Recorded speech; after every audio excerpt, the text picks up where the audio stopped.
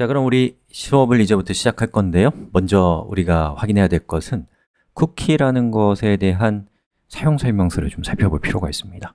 자, 쿠키는 어디에 속해 있는 기술이냐면 당연히 웹브라우저, 웹서버가 서로 주고받는 정보이면서 HTTP 프로토콜에 포함되어 있는 기술이에요.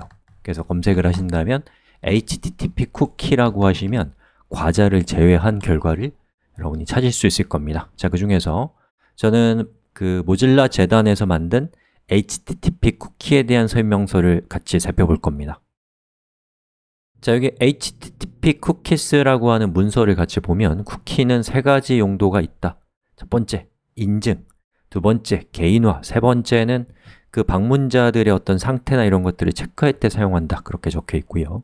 쿠키를 생성할 때는 어떻게 하는가에 대해 적혀 있어요. 여기 보면 어, the set cookie 즉 set cookie라고 하는 이름의 헤더 값을 응답하는 HTTP 메시지에 이렇게 세팅을 하면 된다라고 적혀 있습니다.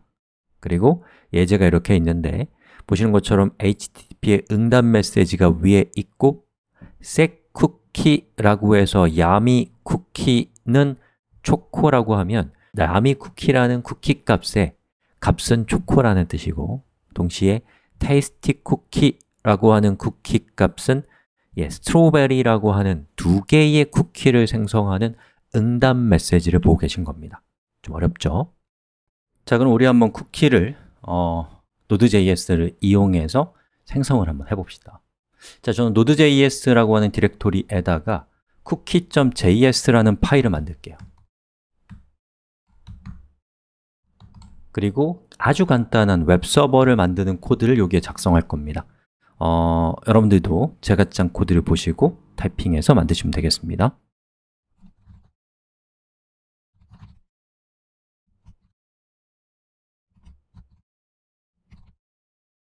자, 그럼 요거 한번 열어볼까요?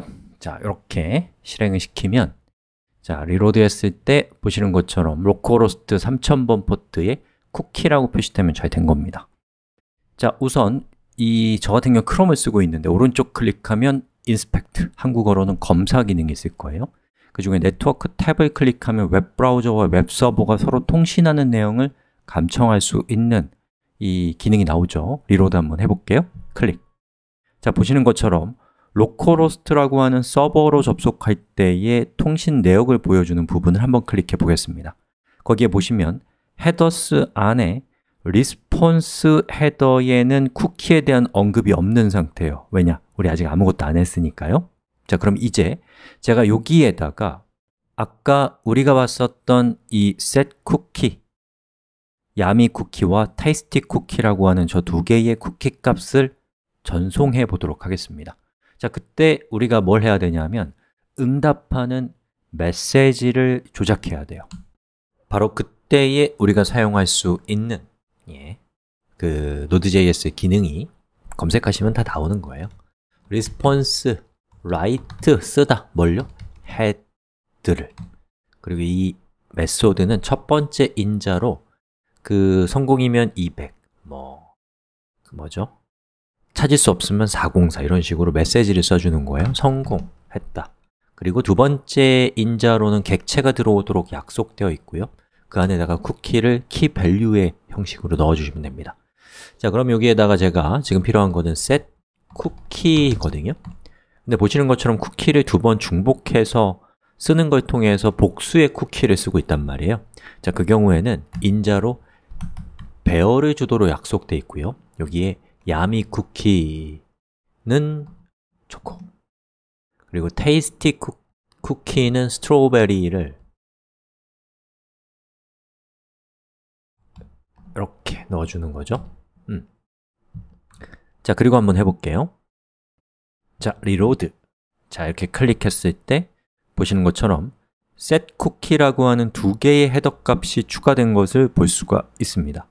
하지만 request header에는 아직은 쿠키가 없어요. 자, 그리고 제가 reload를 한번 해봅니다. 그 전에 여기에 우리가 작성했던 이 코드는 제가 주석을 처리해서 더 이상 서버가 웹브라우저한테 set 쿠키 헤더를 보내지 않도록 처리했어요. 그리고 reload를 한번 해볼게요. 자, 여기 있는 localhost를 클릭하면 어떻게 되냐면 어, 요청이 먼저 들어가겠죠, 웹브라우저가. 근데 재미있는 것은 요청에 보시는 것처럼 쿠키 값이 심어져 있어요. 그리고 응답은 더 이상 쿠키를 보내지 않죠. 왜냐? 제가 주석 처리를 해서 그러지 않게 했거든요. 그럼 이제부터는 웹브라우저는 리로드를 할 때마다 set 쿠키로 인해서 구워진, 예, 저장된 쿠키 값을 쿠키라고 하는 헤더 값을 통해서 서버로 전송하고 있는 것입니다. 그리고 여러분이 어떤 쿠키가 현재 웹브라우저에 주어져 있는가 라는 것을 보고 싶을 때는 여기 있는 cookies를 클릭해 보시면 이렇게 두 개의 쿠키가 만들어졌다. 어, request cookie로서 전송되고 있다는 걸 볼 수가 있고요.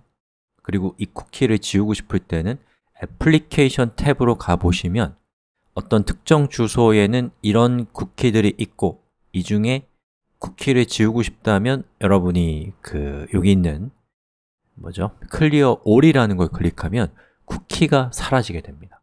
이게 개발하다 보면 지워야 할 필요가 생기거든요 자, 모든 정보 시스템의 핵심은 CRUD, 생성, 어, 읽기, 수정, 삭제 이렇게 있거든요. 자, 그 중에서 우리가 뭘 봤냐면 읽는 법은 아직 안 봤고 생성하는 방법 이렇게 해서 생성할 수 있습니다 라는 걸 살펴봤습니다.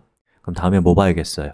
어떻게 어, 서버 쪽으로 웹브라우저가 전송한 쿠키를 볼 수 있는가 라는 것을 다음 시간에 살펴보겠습니다